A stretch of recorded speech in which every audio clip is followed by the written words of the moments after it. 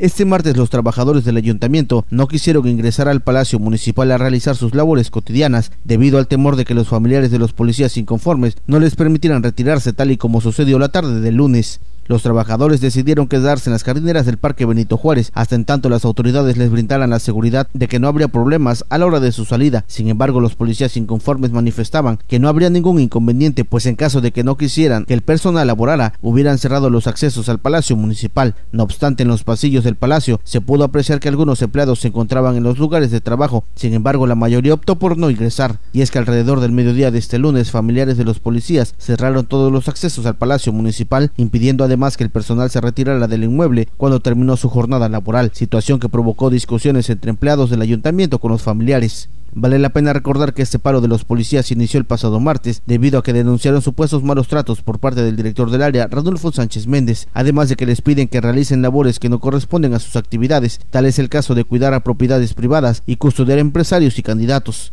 Con edición de Eric García informó Jorge Acevedo.